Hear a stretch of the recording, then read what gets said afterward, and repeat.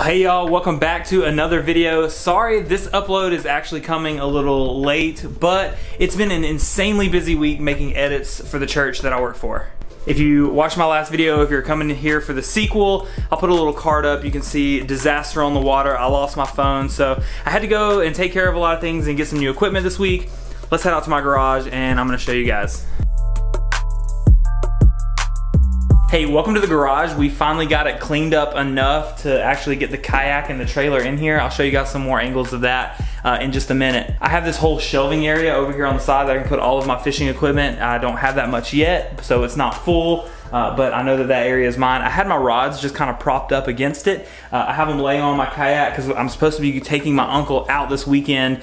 I borrowed, actually Connor from a previous video, I borrowed his kayak for my uncle to use. You know, I don't have a drill, and so while my uncle is here, he's gonna help me actually install some uh, rod holders up on this wall, so I'll show you guys us doing that as well. But back to the phone thing, man, it was super tragic losing my phone in the water. Definitely learned my lesson, and remember in my last video when I said this about insurance? Turns out I had insurance, which is wild because I never agreed to insurance because I think it's kind of scammy. Yeah, well, I still kind of believe that because they denied my claim and said some crap about uh, my phone not being active on the plan. Like, you know how insurance companies do, but it is what it is. The lady at AT&T in Summerville, South Carolina, her name is Ashley, took care of me, uh, got me some good deals, got my plan worked out. Apparently I was on a weird plan for just being an individual. So I'm saving a ton of money and the phone ultimately is cheaper each month than my previous phone.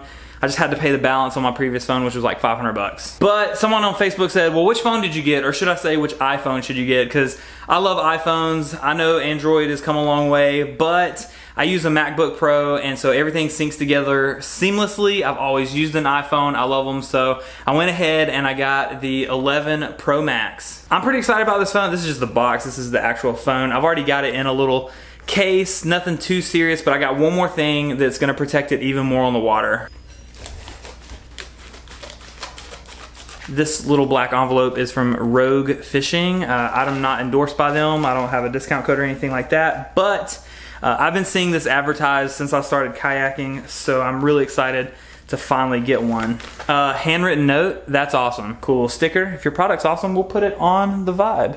And lastly, here it is. It's a tether uh, to tether your phone to your life jacket. So let's go ahead and put this thing together.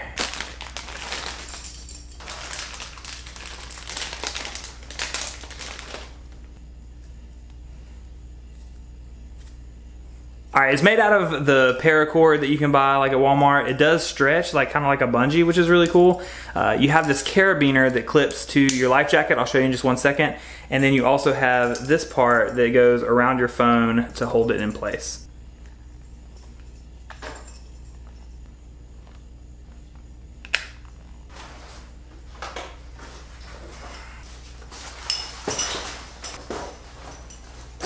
Okay, it worried me a little bit at first because uh, the little rubber piece is kind of small, but it actually fits really nicely around my phone all the way around. And it doesn't block the camera here, which is important if you're doing any kind of kayak fishing tournament. They're all uh, catch photo release, and so you got to be able to take that picture.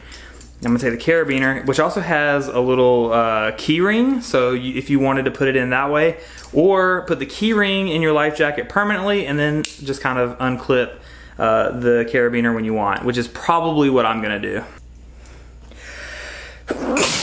Okay, I usually keep my phone in this pocket, but there's a zipper inside of my left pocket. So I went ahead and put the little keyring on there so that on the actual Rogue Fishing clip, uh, I can clip the carabiner to that zipper. And now I've got my phone connected to my life jacket and I guess we should give it the old drop test and see if it works. I'm gonna get Amber to hold the camera for that.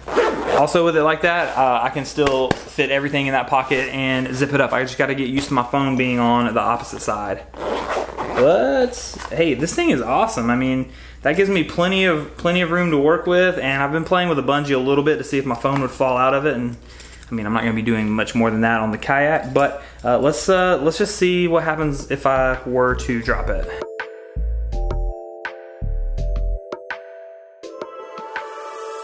All right, we got Amber behind the camera. I had to come inside because it is so hot in there. We've been running the dryer almost all day. If you're wondering about a house tour, we're gonna get to it really soon, maybe even this weekend because we've been cleaning for the past two days.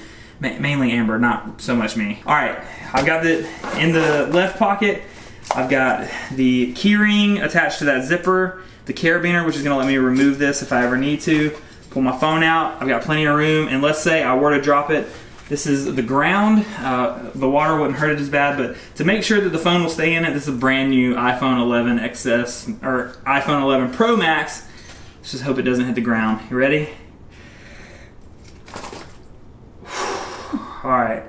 So even if it were to hit the water on that, it would be tethered pretty securely to my life jacket as well. And these phones are water resistant, thankfully. So um, honestly, I'm really happy with this product. I can't do a full on the water review because I'm hopefully going fishing tomorrow evening, but uh, just at first glance, the handwritten note, the packaging, the quality of the connections, the fact that this is not going to let my phone go, uh, Rogue Fishing really hooked it up uh, with this phone tether. Once again, I'm not sponsored. I don't have an affiliate link, nothing like that from these guys, but I will leave a link to this exact one. I got it in green. It comes in several different colors.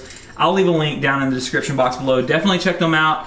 Don't do what I did and drop your phone in the water and lose all of your pictures. All right, I'm so excited to finally have space and a garage where I can keep the kayak here and not at Jeremy's because um, I can work on it, I can clean it whenever, and take it out whenever really I need to or want to. I, have never really wanted to go out by myself. Jeremy's been really busy lately, so I'm gonna have to start taking some solo trips. The Shearwater is still an amazing kayak. One of the biggest problems I had was this middle pod right here was really loose, and when uh, the waves would hit it, it would actually pop up, and these little locking mechanisms were super loose.